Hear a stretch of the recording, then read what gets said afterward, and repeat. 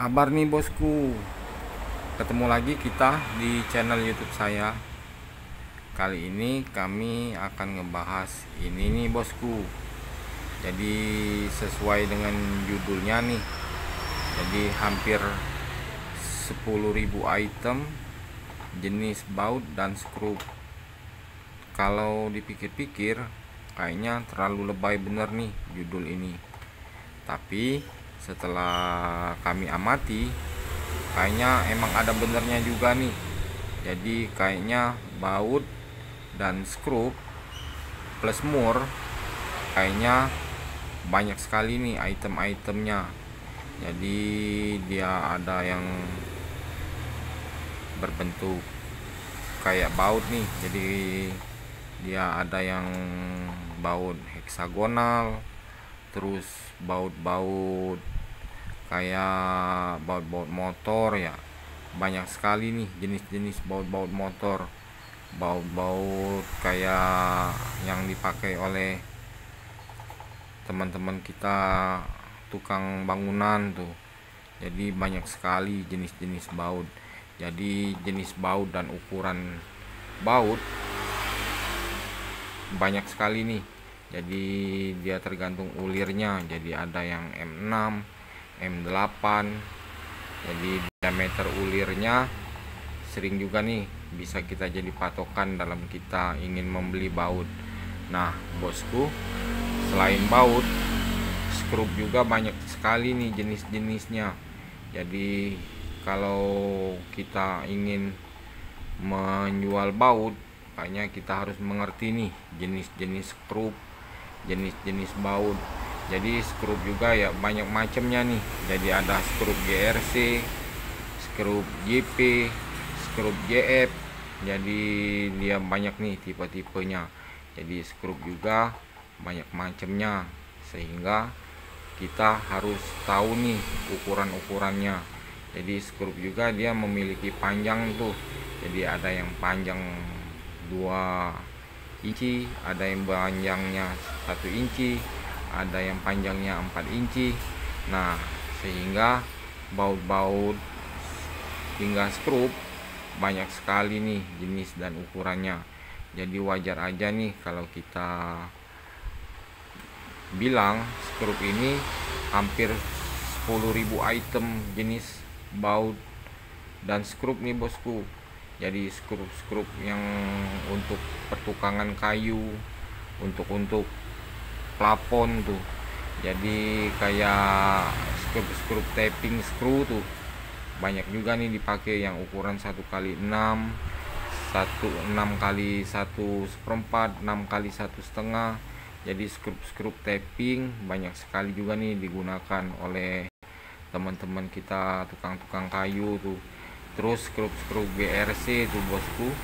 Kayaknya yang untuk memasang-masang plafon tuh. Jadi bahan yang terbuat dari kalsibon atau GRC kayaknya menggunakan skrup-skrup GRC itu. Terus skrup-skrup JP JF yang kepalanya bisa menggunakan obeng kayaknya sering juga nih digunakan oleh kita. Jadi skrup JF skrup JP ya. Jadi jenis-jenis skrup TS tuh jadi banyak juga nih jenis-jenis skrup. Selain skrup baut ya ada juga nih kayak untuk pemasangan rangka baja ringan tuh. Jadi kayak dinabol skrup roofing drilling. Kayaknya banyak sekali nih jenis dan ukurannya. Kayak dinabol aja ada berapa jenis nih dinabol? Jadi ada dinabol gantung ada dinabol yang untuk di tembok ya. Jadi ukuran dinabol juga ada yang M M50 kali M10 kali 50 ada yang M10 kali 55 M10 kali 65 pokoknya banyak sekali nih ukuran-ukuran dinabol terus selain dinabol ya kayak skrup-skrup roofing tuh yang untuk pemasangan atap di baja ringan banyak juga nih jenis-jenisnya. Jadi kalau dari skrup roofing aja udah hampir berapa puluh jenis nih skrup ini. Nah jadi bosku sesuai aja nih kalau kita ngebilang di judul video ini hampir 10.000 item baut nih. Jadi memang wajar sih kalau kita pikir-pikir banyak sekali nih item-item baut atau skrup yang harus kita tahu nih. Jadi kalau ingin jualan baut atau skrup kita harus mengetahuinya juga nih. Jadi jenis-jenis baut jenis-jenis skrup apa itu dia skrup tapping skrup roofing skrup TS skrup JF skrup JP terus ukuran-ukurannya panjang-panjangnya tuh. Jadi kayak harus kita mengerti juga nih. Terus baut-baut hitam tuh bosku. Baut-baut baja tuh. Yang ukuran 5 kali 40 yang ukuran 6 M6 kali 40 M6 kali 70 terus baut-baut kuning tuh. Jadi baut kuning ya kayak M10 kali 25 harus kita mengerti nih. Jadi cara mengukur baut-baut juga ya kita harus menggunakan menggunakan alat nih bosku. Jadi di video YouTube saya yang terdahulu saya udah nih pernah membuat video cara mengukur baut. Nah bosku baut ini kayaknya sangat berguna sekali nih bagi kita. Jadi pokoknya nggak sampai semeter di tubuh kita pasti ada nih baut. Jadi kalau kita mengendarai motor di motor pasti ada baut nih. Kita masuk rumah nggak sampai semeter pasti ada skrup atau baut nih di dekat tubuh kita. Apalagi kalau kita naik mobil tuh.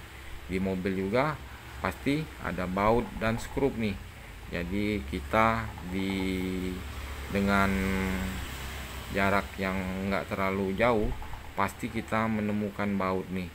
Jadi baut sangat penting sekali nih bagi kita. Nah bosku baut ini kalau kita mau usaha baut kayaknya jangan terlalu banyak-banyak dulu nih. Jadi kita lihat dulu nih. Lihat kondisinya dulu nih jadi baut apa yang ramai di dekat usaha kita. Nah bosku selain kita ingin jualan baut wadah-wadah bautnya juga kita harus siapin nih. Jadi biar dia terlihat rapi tuh. Jadi enggak tercecer satu ukuran dengan ukuran yang lain. Nah inilah bosku video kami tentang hampir seribu baut yang hampir seribu item baut dan skrup yang ada di pasaran. Oke terima kasih